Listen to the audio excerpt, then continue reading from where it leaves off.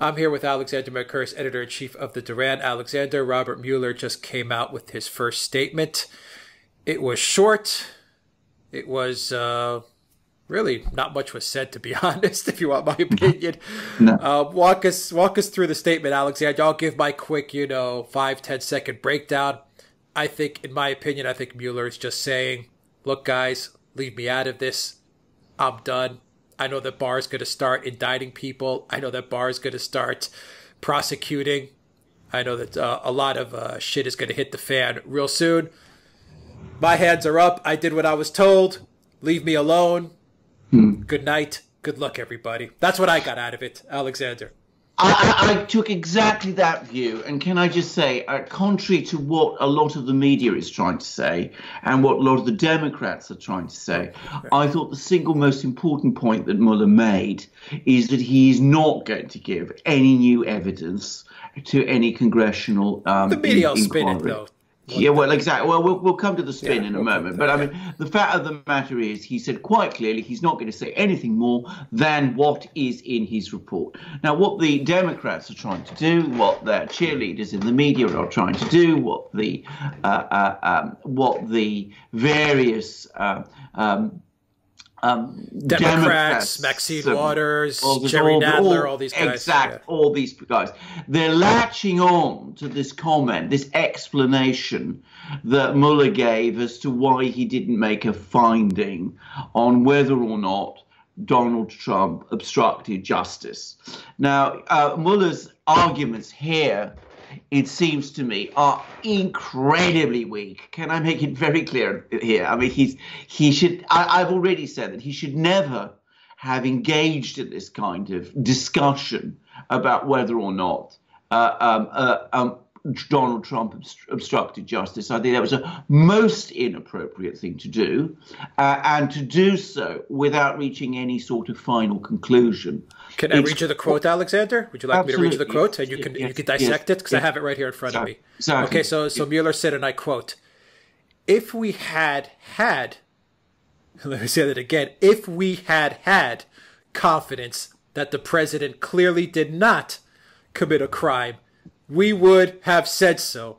What a confusing statement. Go ahead, Alexander. Break it well, down it, for, for it, us. Exactly. It is confusing. Confusing. It is uh, uh, evasive. Uh, uh, and frankly, in my opinion, deceitful. Because what what he is saying is not that the president committed a crime; it's that he lacked confidence that the president did not commit a crime. Now that is that's a negative. That's a negative statement. Explain you know, that uh, again. Uh, you yes. lost me a little there. Yeah, well, I mean, well, it's not surprising given how bizarre this comment is. But what he is saying is, what Mueller is saying is that he, that, that is to say, Mueller and his team, are not saying that Donald Trump actually committed a crime. They're not saying that. What they are saying is that they are not sure that he didn't commit a crime. perhaps he did, perhaps he didn't we don't actually know. Now, what some people are doing is that they're taking this intentionally vague and ambiguous statement and they are construing a positive from it. And they're saying what actually that means is that Mueller, in fact, does think that Donald Trump uh, committed a, tri- a crime. Now, as I said, that is called construing a positive out of a negative, which anybody will tell you is a deductive fallacy. Anybody who does works in this sort of field. Now, of course, what has happened is that Mueller has come in for a lot of criticism from various uh, legal writers, inclu- and also, by the way, from Bill Barr, the Attorney General, who until a few hours ago was his boss for this tortured reasoning that he's used. And what Mueller did was that he tried to justify that by saying that he couldn't even consider the option of saying that the president did commit a crime because doing so would, in some form or other, violate the president's constitutional position. Well, if I may say so, that is a nonsense. It doesn't prevent Mueller expressing an opinion, which is all that he was asked to do. He was not asked to indict Donald Trump merely to say what he thought Donald Trump did. If Mueller thought that Donald Trump had committed a crime, he should have said so and left the matter to Congress to decide what to do next. He didn't do that, and now he's hiding behind this maze of words. All right. Now, there are recent reports uh, that just came out that said uh, Pelosi and Schumer are still not walking that impeachment line that the rest of the Democrats are pushing for. So it seems that they took uh, Mueller's statement and they said, okay, this, this doesn't really give us a path towards impeachment. Do you think that Mueller, because there were a lot of people saying that, a lot of, in the mainstream media, a lot of Democrats were saying that Mueller is goading the Democrats into pushing towards impeachment. Did you get that sense from from Mueller's statement? Because he does say something in his statement that, you know, goes along the lines of, you know, it's not up to me, like you said, it's not up to me to find a crime, but there are other ways, other mechanisms to find the crime against the president. I mean, what, what Mueller is doing is hiding, uh, uh, constructing excuses for his inability to reach a decision on this on this big question. And some people in the media and some of the Democrats are seizing on that to say that he's actually encouraging the Democrats to pursue impeachment proceedings. It seems to me that if uh, uh, Mueller really thought that there should be impeachment proceedings, he could have straightforwardly said so. If you actually read his report, which by the way very few people have done, you will see that he goes into enormous detail in his report to say why it is perfectly possible to investigate the president for certain things and to make recommendations which could lead to impeachment. He doesn't do that. He didn't do that in this statement either. So he's not goading anybody, but some people who want to start impeachment proceedings are using his words in order to try to put pressure on the Democrats' congressional leadership to bring those impeachment proceedings. I think Pelosi, by the way, is absolutely right. I think that Donald Trump would be delighted if they were to do a thing like that. I think it would blow up in the Democrats' faces. And given that witness number one, who is Robert Mueller, has now said that he is not going to testify, I think that whole project, to my mind, looks nuts but many, many people in the Democratic Party and in the media are clearly nuts. Now, you said that Mueller was using that statement that he made to hide behind the fact that he couldn't come to any decision. So he's, he's, you know, basically, he's not calling for impeachment. He's just kind of, you know, hiding behind uh, clever words. Yeah. One of the things that Mueller does say in his statement, though, is that he does throw a lot of the blame as to what, what happened in 2016 on who else? But Russia. Yeah. And so he, he, he once again toes the line of Russia did it. What do you make of, of those statements that he made? Well, well, first of all, can I just quickly finish with Mueller and say that yet again, here is someone whom the American people look to for a straight answer, and he's coming up with a lawyer's evasions because that's what he's just done. Uh, but anyway, turning to the Russians, here we go with Mueller talking about his famous indictment of the 12 Russians who hacked the DNC compu- computers, as he says. And he points out that, in fact, these are allegations. There's no actual decision being made, no proof that these people did it. They've not been convicted of anything. And yet, here he is again trying to steer this whole discussion back to the Russians which is what we are consistently getting now. And this is one of the things that really concerns me most about Russiagate, is that uh, one of the things that's happening on all sides, both Democrats and Republicans, the media and the intelligence agencies, the one thing they're all closing their ranks on is this theory that the Russians meddled in the US presidential election. And the evidence for that ultimately now boils down to a single indictment by uh, uh, Mueller of 12 Russian uh, um, uh, alleged GRU officers, which of course Mueller admits consists of allegations only is not a conviction of anything. And of course, he added the big story about the social media activity, which I personally consider so ridiculous that I'm not going to spend time discussing it. Yeah, the St. Petersburg troll. Mar- marketing company is what it was, really. Social media marketing company. Well, well, I don't even want to say a troll it, farm. Uh, well, indeed, yeah. I know exactly, but, and I mean, I, I, but let's let's focus on the, uh, the 12, the 12 Yeah, but the 12 GRU. I mean, many people are going to make the argument, oh well, Alexander, you know, that's that's that's great that you say that, but we can't indict indict them. We can't charge them with anything because they won't come to the United States. I mean, it's kind of you know this circular kind of logic very, there. This, I mean, is, this is this is a very circular logic, but it also shows why that indictment should never have been published in the first place. Because you can, you should not indict people whom you cannot try. But he knows An indictment, that. well, of course he does. Now, the point about the indictment is not that it is intended to lead to a trial, which is, to be clear, the only thing an indictment is there for, it is it is a misuse of the indictment process to create an impression that people are guilty who by Mueller's own admission today may be innocent. So I mean it, it's it's a complete misuse of the indictment process. And uh, what this is coming as we're getting more and more evidence of how questionable the entire investigation into the hacking actually is.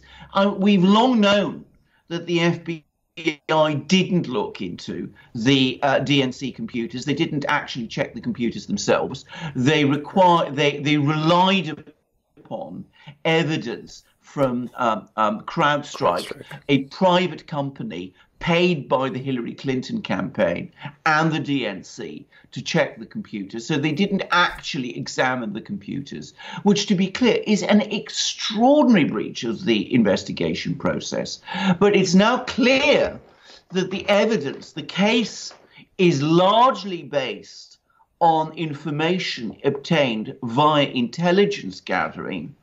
And we've now had further evidence in, in places like the New York Times, which has recently discussed sources that the CIA claimed it had uh, in the Kremlin, which make me doubt the value of that intelligence also.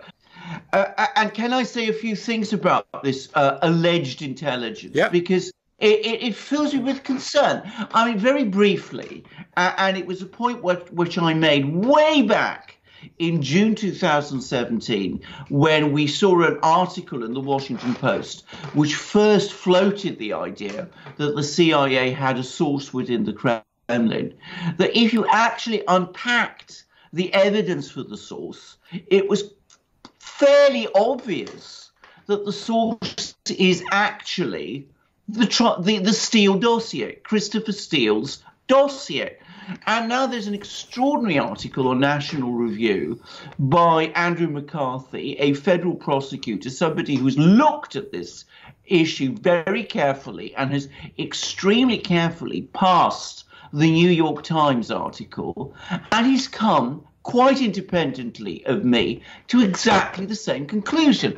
Because what the uh, what the New York Times says is uh, that the CIA was not in direct touch with this supposed source in the Kremlin. It relied on information allegedly provided by this source to an informant and that it was this informant who then passed that information on. And as uh, McCarthy correctly says, and as I pointed out back in June 2017, that sounds very like the Steele dossier which also claimed to have sources with the Kremlin, which was passing on information to informants who either might have been Christopher Steele himself or were passing on that information to Christopher Steele. And moreover, McCarthy makes a second point, which, by the way, I also made in June 2017, which is that if this information, if this alleged source was not the Trump dossier, if there really had been an entirely different, independent source be providing information to the CIA, then it would have been mentioned in the FISA warrants that were used against Carter Page, and of course also in the Mueller report, where there is no reference to it. So it looks increasingly to me as if the entire theory that the Russians were hacking the DNC computers is based on evidence provided by the Steele dossier. That's what it looks to me, both from reading that original Washington Post article that appeared in, in June 2017. That's how it looks to me, reading this New York Times article, which has come out now. And as I said, Andrew McCarthy, a former federal prosecutor, somebody who knows how the Justice Department works, has come to exactly the same conclusion. And so, sneaky Robert Mueller makes this statement today, and yeah. knowing that you're never going to bring these 12 GRU officers to the U.S., that's obvious, once again throws all the blame and tries to distract and detract from what's going on with Barr and all of this stuff, and he throws it once again on Russia. Investigate mm-hmm. Russia, he pretty much says to everybody. Invest. I mean, that's what I got from his statement. He was kind Absolutely. of telling Barr, no Barr, don't look here at the DNC, at Comey, on Brennan. Don't look there. Look at Russia. Look at Russia. Please look over there. That's what his statement was saying. That's exactly what his statement was saying, and I can't help but think that this is the pro- that this is the concern. I mean, this Steele dossier is the unexploded bomb that is there, lurking under RussiaGate. It, it, it was the entire basis of the case that there was collusion. And remember, I pointed out when we went when we analysed the Mueller report how uh, Mueller barely refers right. to it, and he never actually refers to the dossier as such. He merely deals with its allegations. But um, so he refutes it and dismisses it without actually discussing it or mentioning it. And the same is now happening, it seems to me. We're getting closer and closer to finding out that it is the Steele dossier that was also uh, to a great extent, the evidence behind the hacking claims.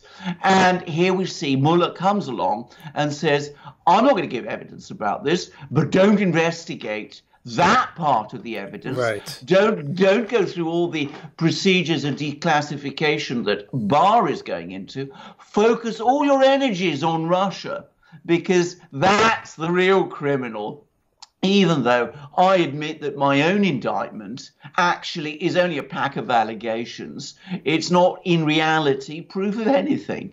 I mean, it, it's it's a complete diversionary exercise from the proper investigation of the truth.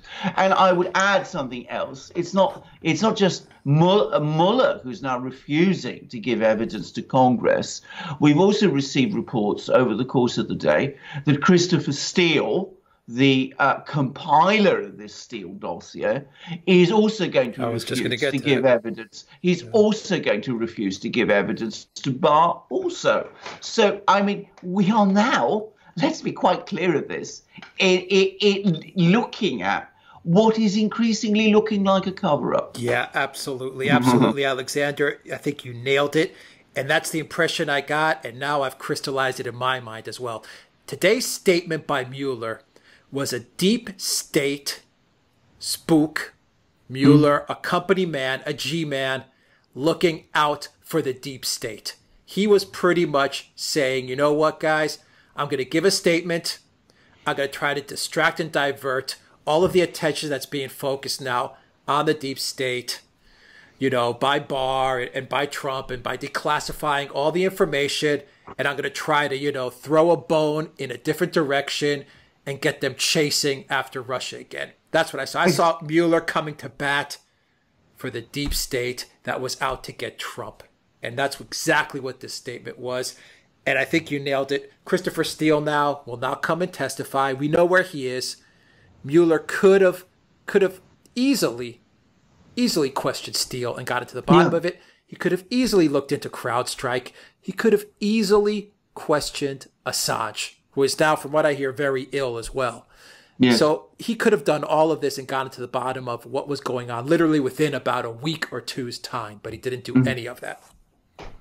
That's exactly right. I mean, this is exactly what this is all about. It is, it is once again reopening or, or, or, or reheating the Russia, the Russia allegation, yeah. allegations, which of course it was Mueller's job to investigate. So I mean, he's asking for more investigations into uh, uh, on top of the investigations into Russia's activities, which he himself carried out, and which, if you read his report, led nowhere. So I mean, he's he's wanting the entire resources of the United States to go down again, down again this rabbit hole, rather than look at the true evidence, the actual evidence of FISA abuse, of surveillance abuse, or of the misuse of intelligence, of this extraordinary, credulous belief in this Steele dossier, paid for by Hillary Clinton's campaign,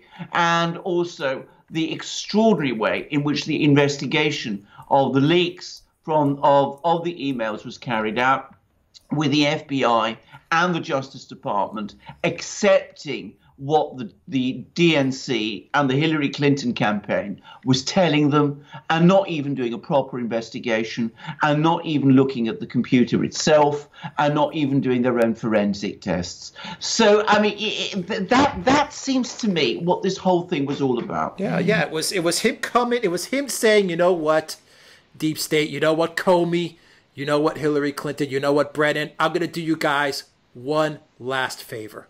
Correct. I'm going to do you guys one last solid. I'll make a statement. I'll try to distract Barr. I'll try to distract Trump. I'll try to get the Democrats, you know, all fired up. Impeachment, impeachment. Yes. Russia, yes. Russia, Russia. I'll do you guys one last solid and I'll come out with this statement. After that, I'm out. Don't bother mm. me again. I'm gone. And maybe this will work. And maybe now everyone will start to say the media, the Democrats, you know, look at Russia. Follow follow yeah. the Russia trail. Forget about all the other stuff, Barr. Forget about the FISAs. Yeah. Forget about the Comeys, and Comey is his good friend. Forget about all of that stuff and just go yeah. down the Russia rabbit hole once again. Exactly. That's, that's a, that that is that's exactly the strategy. I, the, the the point I'm going to make though is two two things. Firstly, the fact that we're seeing these sort of statements being put out by Mueller and by other people is the strongest possible evidence, if you like, that Barr is on to something and that Barr and Durham's investigations uh, and Horowitz's investigation, which is going to be publishing its evidence shortly, are coming increasingly close to the truth. So that is an important sign in itself. You wouldn't need to divert attention from the truth if you weren't worried about the truth coming out now. And secondly, unless I've misjudged Barr completely, he doesn't seem to me to be the sort of person who is easily diverted from the course he is now committed to. And my own guess is, by the way, that Mueller's attempt to go behind Barr's findings on obstruction are simply going to annoy Barr because Barr made the correct decision about obstruction. Of that, there is no doubt at all. But he also made the decision, which, as Attorney General of the United States, he had both a right to make and, since it involved the sitting President of the United States, a duty to make. So, uh, for Mueller to come along and cast doubt on that I think he's simply going to annoy Barr, and I think he's going to make him even more determined to see this investigation through. Right. We're, we're approaching about 30 minutes on this video, Alexander, but I'm going to take it a little further. We're going to put mm. a little more time into it because I think you're right. Barr is onto something. This is not just only with 2016 and mm. the elections. From what we're starting to understand, especially from reporting from Sarah Carter and some other people, John Solomon, we're, we're starting to understand mm. this goes back all the way to 2012 and maybe even earlier. Yeah. And there's some reports out there, and there's some uh, some investigations going on at, as to what Obama had a whole intelligence mechanism to gather information. Some are calling it the hammer. Other people are saying it was something else. You know, I, I yes. think that needs to play out And a lot of our viewers are saying we should look into the into this Hammer program Yes. that they had going on way back in 2012. But don't, Joe De, Joe who's been on the whole RussiaGate hoax from the get go, made a couple of statements, Yes. and I want to read them out to you, Alexander. You can comment on them. And it said, and, and he said, and I quote, the FISC has already found that there's been spying going on starting in 2012, not just in 2016. And, Do- and Joe diGenova added that senior officials within the FBI and CIA fear that a full scale disclosure of the violations will then limit their expansive powers. And I'll read you one more quote from Joe diGenova, Alexander, and you could comment as to what's going on, as to how deep this runs. And this is what he said during a Fox News panel discussion. He said, The problem for Brennan and Clapper and Comey and Baker and all of them now is is that the FISA court has already communicated with the Justice Department about its findings. And their findings are that for more than four years before the election of Donald Trump, there was an illegal spying operation going on by FBI contractors, four of them to steal personal information, electronic information about Americans, and to use it against the Republican Party. And here's the best part there are going to be indictments. There are going to be grand juries. John Brennan is going to need one lawyer. No, sorry. John Brennan isn't going to need one lawyer. He's going to need five. The Obama administration, for more than four years before the 2016 election, allowed four contractors working for the FBI to illegally surveil American citizens illegally. The FISA court has already found that. What do you make of those explosive Well- comments? Um, I mean- and credit Sarah Carter for for doing a lot of legwork on that. Absolutely. Now, can I just say something? You see, this is this is a point. I mean, when one uh, reviews the work of people like Sarah Carter and John Solomon, who've been doing a lot of the digging in all of this, my impression is that these are extremely reliable reporters. And Sarah Carter, by the way, has also said, and she says that she's been working very closely with John Solomon. She also says, she also confirms what uh, diGenova said, which is that there's been massive amounts of surveillance abuse in the, i- during uh, Barack Obama's second term. And the other thing I must say is that diGenova himself, as anybody knows, yes, he is a man of very strong political views. Many people may not agree with them. He is also a brilliant lawyer, and I cannot believe, as a lawyer, that he would say things like that if he did not know that they were true. If he says, for example, that the FISA court is communicating information already to the Justice Department about uh, massive FISA abuse huge. against Americans, then, as I said, I can't believe that someone like diGenova, uh, a, a lawyer of that standing and ability and reputation, would be saying something like that if he didn't know for sure that what he was saying was true. So we have a huge amount, probably threatening to come out here. And um, it looks as if the Obama administration, or elements within the Obama administration, was using the intelligence agencies to systematically spy on people who they consider to be their political opponents. Now, that goes far beyond what Richard Nixon was accused of in the early 1970s. Richard Nixon set up his own illegal detective agency, the so called plumbers, because he couldn't get the US intelligence community to do to spy on his opponents for him. But something like that, if we are to believe these reports, which I do, seems to have been happening under the Obama administration. And again, this is something that really does need to be investigated properly, and it explains why so many people are behaving so nervously. I'm going to add something else, which is, of course, the other thing which has astonished me is that there's been a recent article by Sarah Carter in which she discusses the extent to which Americans were being unmasked in the last months of the Obama administration by senior officials of that administration in a way that was obviously calculated to do them the greatest possible harm. Susan Rice was heavily implicated in all of this.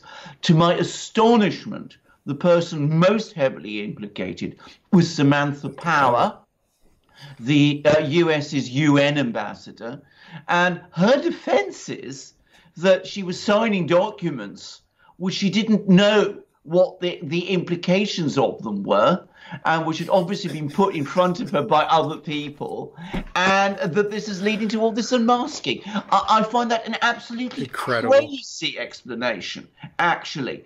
And I, I, have to say, if it's true, that begs a lot of questions about uh, uh, Samantha Power's competence. Yeah, she's saying she's incompetent, is what she's absolutely, saying. Absolutely, but I mean, you know, it, it, it, I mean, it seems to me so bizarre that I do actually wonder whether it can possibly be true.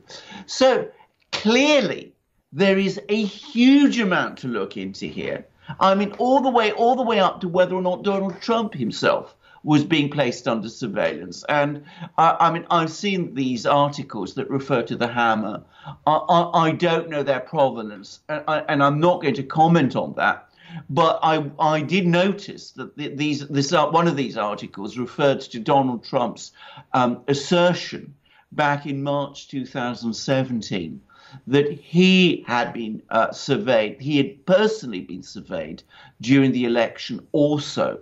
And of course, if so many people were being surveyed during the election, is it realistically likely that Donald Trump wasn't placed under surveillance also?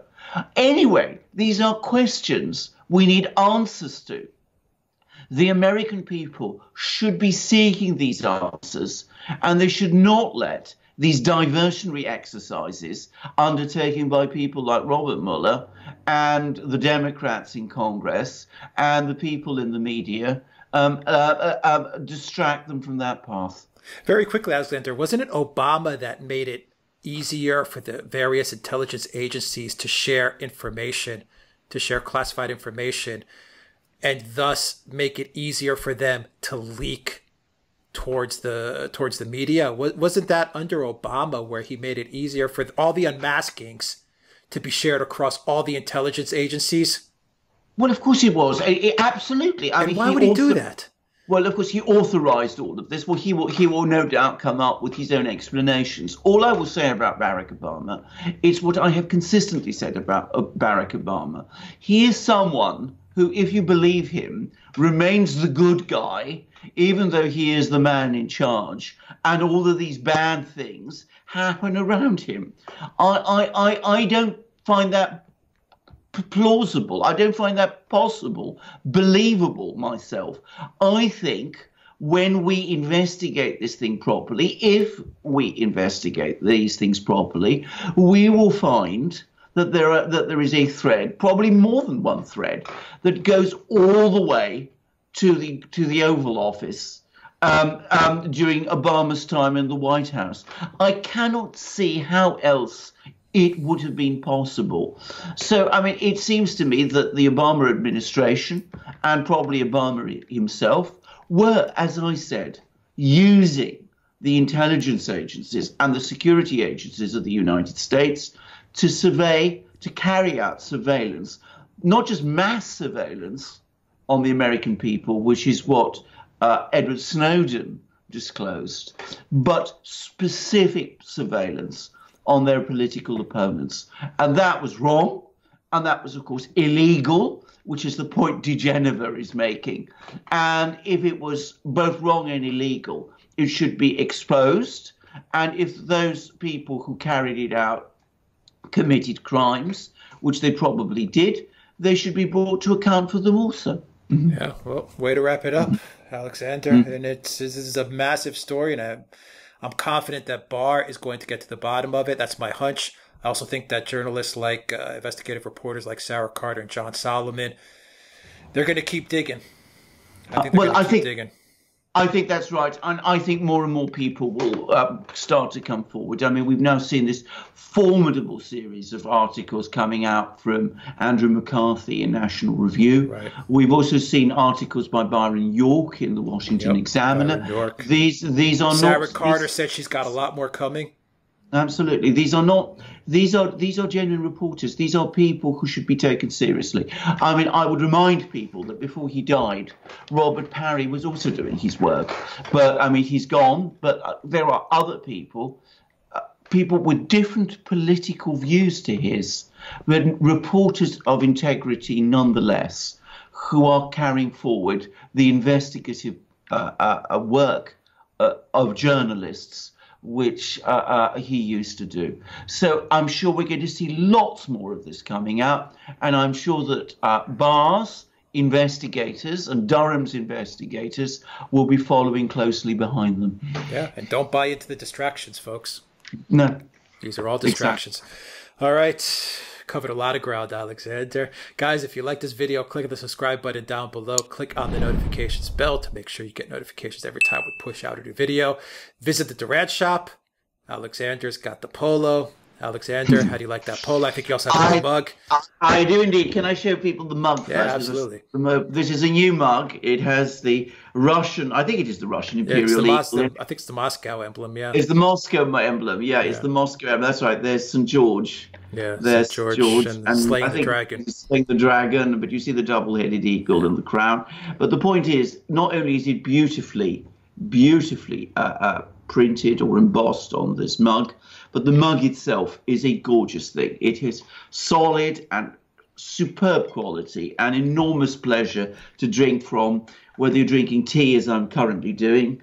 Um, I'm English after all, or coffee as I drink in the morning, or beer as uh, uh, I'm probably likely to do very long before long. After we do these and- videos, yeah. Indeed. And as for the uh, polo, can I also say it's outstanding stuff. It is uh, uh, so comfortable and so high quality. Uh, the embroidery there is beautiful and it's 100% cotton and it's perfect for uh, hot weather, which we've been having a lot of in London, well, at least by our standards, uh, uh, recently, or actually quite chilly weather as we're having at the moment. It, it, it, it's it's really high quality fabric, and it's beautifully put together. It fits marvelously well, and uh, as somebody, as I said, who's uh, worn had suits made um, in um, Savile Row and shirts made in um, Jermyn Street and ties made in Place Vendôme in Paris, I can absolutely tell you this is on that on that level. Right. That's good to hear. And uh, we also have an ebook, Alexander, which you wrote the forward to, which people can grab. If you are on Patreon or Subscribe Star, you have access to that ebook. Otherwise, instead of maybe getting a cup of coffee one of these days, you know, four ninety nine gets you an ebook, forty four pages, all about Brexit. Real quick, Alexander, a couple words on Yeah. the ebook, which you wrote the forward to. Well, indeed. I mean, what it does is it charts. Uh, first of all, it sets out our, our, our discussions, and it also provides a forward.